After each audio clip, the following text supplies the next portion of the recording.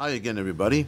Uh, today we'll be dealing with the power mirrors, the defrosters for the power mirrors, and how they work. So let's go right to the to the schematic. As you can see,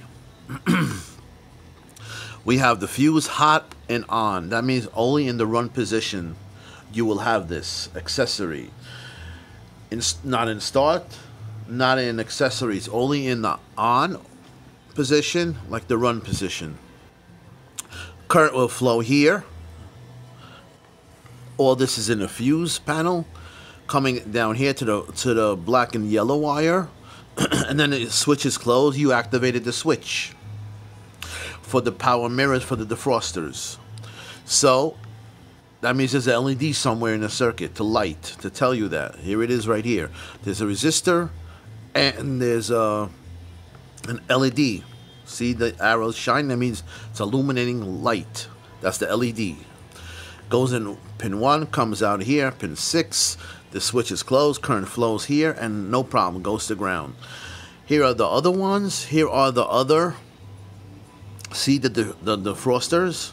If you look at it, left and right, left and right, depending on the model that you have. Without memory or with memory. So probably it'll remember the condition or, or the the condition that you want when you get into the car. So if you get into the car and you want the defrosters on for the mirrors, it'll remember it. If it doesn't have memory, it won't remember. You'll probably have to adjust it again. So anyway, so which line are we following? Well, this line is just for lighting the LED to tell you that, that you activated it. This line without memory is for left and right defoggers. Current goes here, heats up the grids, and obviously you get the mirrors defrosted, the power mirrors. This is with memory, as you see these two, and they are same thing, going to ground, a physical ground on the body. So going to an orange wire here, an orange wire coming out, black wire, black wire. These are connectors going into pin 4 Coming out pin 3, same thing. Pin 4, pin 3, same thing here. Pin 9, pin 8, pin 9, pin 8. So left and right, left and right. Let's say it doesn't work. Let's say it doesn't work. Both don't work. Right? What can possibly be the cause of both? Well, besides the fuse, this wire could be broken. The switch, obviously, number one, right? The switch is not activated you won't get any current flowing over here. So I go for the switch. Can it be a short to ground? That if this is shorted, you're conducting more current, then you know what would happen? It will blow the fuse. So it dependent on the fuse. If these two are not working, these, this orange wire from this point can be broken. So not too bad of a, uh, of a diagram. Anyway, thanks for watching. Please see my other videos that I made hands-on. Um, like I said, it's a new technique that I have. Well, not actually new technique. It's a technique that I have. Sorry, um, it's a new thing probably for the people to see about the hands-on the troubleshooting. I put these wires in the terminals of the relays, and I leave the relay in the circuit.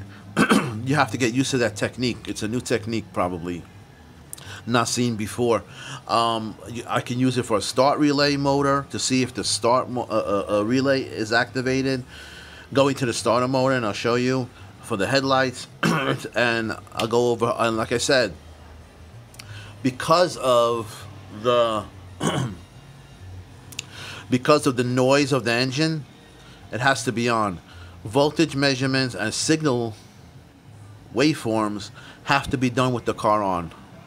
So I explain to people this is the dangerous part of it. When you do electronics in automotive the car has to be on you just can't take a connector and measure 12 volts all the time and put it in accessories position, whatever.